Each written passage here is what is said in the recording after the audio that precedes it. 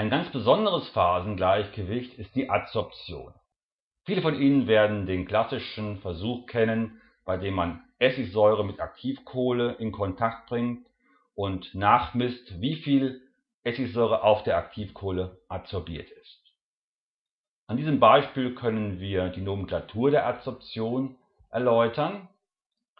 Wir haben eine dreidimensionale Phase, das Adsorptiv, in unserem Fall die Essigsäure, die in Wasser gelöst ist.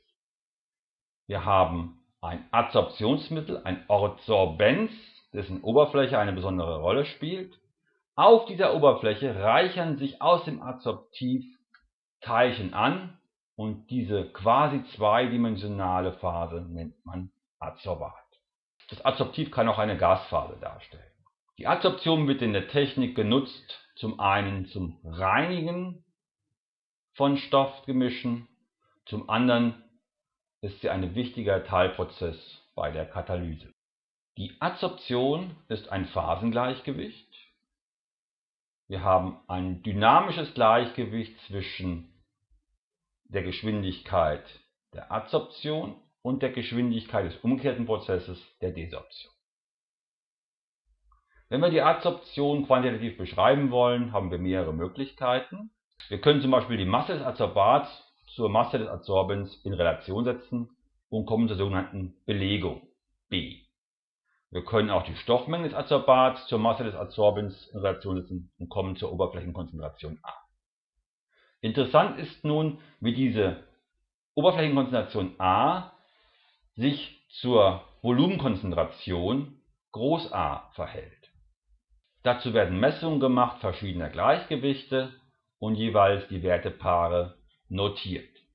Wenn man diese Wertepaare gegeneinander aufträgt, erhält man eine Kennlinie der Adsorption, eine Adsorptionsisotherme. Ein typischer Verlauf dieser Isotherme ist hier dargestellt. Wir haben keine Gerade, sondern wir haben eine Kurve, die immer flacher wird und eventuell einer Sättigung zustrebt.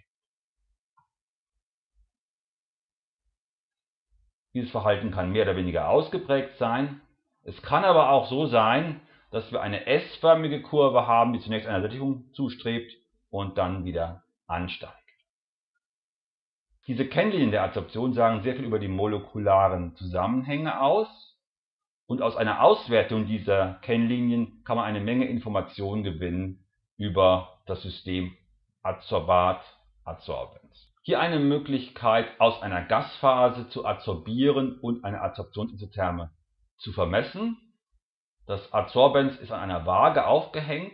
Wir stellen einen konstanten Druck ein und warten, bis sich die Masse des Adsorbens plus Adsorbat auf einen konstanten Wert eingepegelt hat. Hier sehen wir zum Beispiel, dass bei einem Bar Druck und 0 Grad 130 Milligramm adsorbieren wenn wir den Druck auf 0,5 bar runterfahren, haben wir eine adsorbierte Menge von nur noch 100 Milligramm pro Gramm. Wir können jetzt bei verschiedenen Temperaturen verschiedene Gleichgewichte vermessen und dann die Daten entsprechend auftragen. Eine Möglichkeit ist die schon erwähnte Auftragung als Isotherme. Weiterhin besteht die Möglichkeit, Isobaren aufzuzeichnen. Hier nochmal die Isothermen dieser Versuchsergebnisses. Beide Darstellungen sind wichtig, wenn wir in der Technik zum Beispiel eine Druckwechseladsorption oder eine Temperaturwechseladsorption diskutieren will. Unter Adsorption versteht man die Anreicherung einer Komponente aus einer dreidimensionalen Phase auf einer zweidimensionalen Phase. Die Adsorption wird quantifiziert durch die Beladung B oder die Oberflächenkonzentration A. Die grafische Auftragung der Oberflächenkonzentration A gegen die Volumenkonzentration A bei einer konstanten Temperatur nennt man Isotherme. Eine Isotherme ist ein Fingerabdruck des Systems Adsorbens adsorptiv.